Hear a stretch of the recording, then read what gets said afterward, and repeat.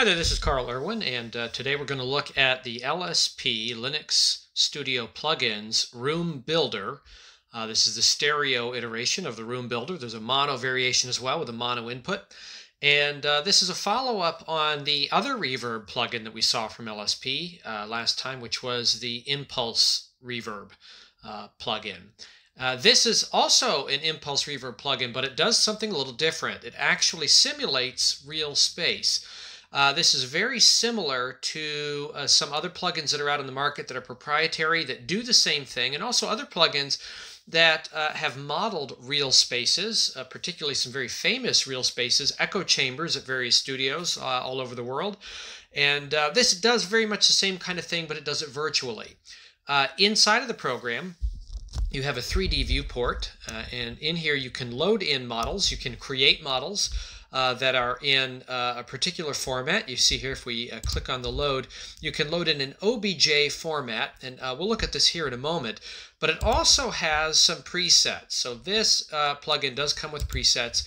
If you look here under the menu, you can see that we have uh, various presets, about six or seven presets. Uh, that will uh, load in. These are different 3D models uh, with material settings that you can load in to the plugin. One is a, a, large room, they call it an auditorium. Another one is a bathroom, very small kind of room space. Another is an outside sort of city block situation where you have buildings around. There's one they call a church. It's kind of a contemporary uh, worship space that is an odd shape. Uh, there's a developer's room, which is just a plain square room. And then you have an office space, which is what we're looking at right here. And then a swimming pool uh, is another uh, option to have. So kind of like a uh, a lap sort of pool environment with uh, stands on the side uh, and then uh, hard surfaces. The surfaces can be edited uh, by going over here to the uh, editor window. Here you can edit the source, which is the sound generation item. We'll look at that in a moment. Then there's a microphone, which is a um, capture device. And then there is an object editor. So in the object editor, you can change the different colors. You can move the object around and change its orientation uh, and its scale. Uh, you can also change the scale of the room over here using the uh, um, uh, X, Y, and Z controls over in the room browser. Uh, but you can also change the materials. If you click on the material editor, it will give you a drop down that shows you different uh, items. So if you load in your own uh, your own model, it will list all of the separate items that are part of that model collection, and you can select each one of them individually. And then you can add a you can add a preset um, material to it. There's quite a few presets in here uh, that you can apply. Uh, a lot of a lot of different options on here. Um, you, you're not likely to use many of these. Uh, you'll probably stick with just a few that you like, um, and they will approximate those materials for uh, as a, a, surface for sound to bounce off of. Uh, there's quite a few other controls in here as well um, related to uh, uh other elements in the scene. You have a source editor.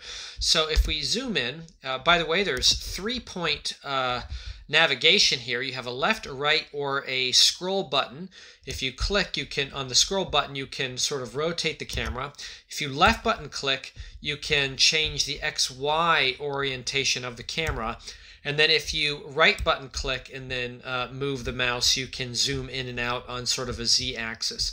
So if we uh, zoom in here, get our orientation, you can see this source element over here, which you can also edit uh, from the editor. If we go to the source and we can change the uh, type of source in terms of shape, a lot of different shapes. This is an uh, icosahedron, which is sort of a ball. And you can change also the uh, angle at which the uh, uh, uh sound is generated from this uh, using various controls here. There's so many different options to play around with in, in terms of bouncing sound around a room. On the other side of the spectrum, if we go all the way over here, we slide to the other side of the room, I have a mono microphone, and uh, you can edit that over here in the capture editor. You can uh, set the mode to mono XYAB, uh, where you'd have two different separate microphones, XY, where you'd have uh, a, uh, a, left and right microphone from a central source. Uh, you can change, of course, the direction of these microphones and the angles of the microphones. Uh, I like to use a mono microphone, and that way I'm capturing one particular sound, then I can apply it to my stereo channel, um, much as I would do with an impulse file. Uh, and this is uh, these are all the controls. You can change the location using the uh, uh various controls here for uh, the location X, Y, and Z uh, axes. And uh, yeah, that's pretty much it for the controls. Let's take a look at the process then for capture. What you do is you set the quality and then you hit launch and then it will run through a process of capturing that sound. Uh, be warned that the higher the quality, the longer it will take for capture. And depending on your system, you may have some crashes if you set your quality too high and you don't have enough system resources to deal with that. But at the end, you will get an output file, which will be over here in your sample. This is the sample output uh, impulse file that we get. You can audition that by clicking on listen You can hear that sort of crunchy sound. Uh, and then this is the model by which the reverb will be um, applied. So if we listen back, I have this set uh, right now to a setting, and you can hear uh, what this sounds like first without the sound. This is a flute uh, solo. I'll hit play.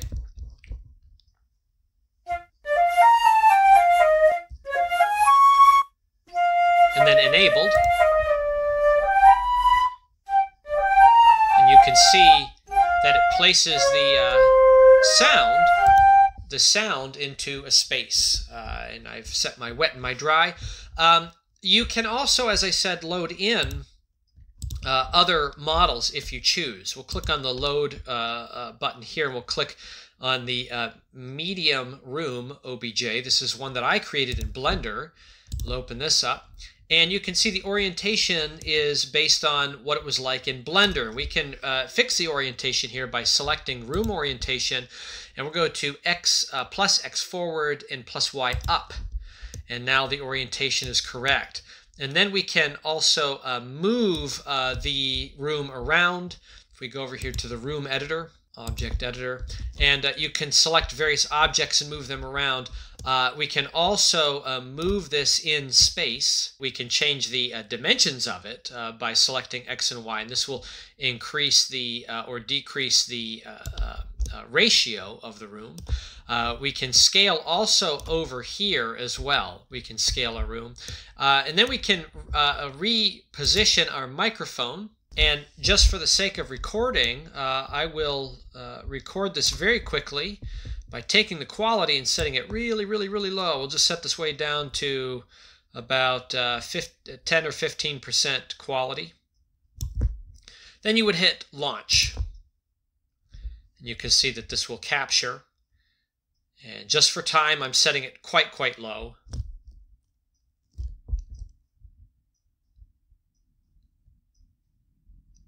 And then the final output will show up over here in your uh, sample. You can see it's very, very low sample quality because of the size. Uh, but those are the basic controls. Um, the nice thing about this is that you can save your samples. If you go to the sample that, you, that you're using and you click on save, you can export this as a WAV file. And then you could use this actually outside of this program inside of a convolution reverb, any convolution reverb. You could use it in the LSP impulse reverb or any other convolution reverb of your choice. The controls down here for uh, application are very much like the impulse reverb, the LSPO or the LSP uh, convolution reverb that we looked at last time. You can set your channels left and right. You can set your source from the particular sample that you have. You can mix and match various samples. It gives you four separate channels by which you can mix various samples and sources and uh, from there you can come up with a very complex uh, sort of output. So that is the LSP Room Builder. This uh, plugin is an absolute rabbit hole. Uh, you will find yourself playing around with various uh, uh, configurations and if you create models, various uh, models that you can import, uh, creating impulse responses uh, till the cows come home.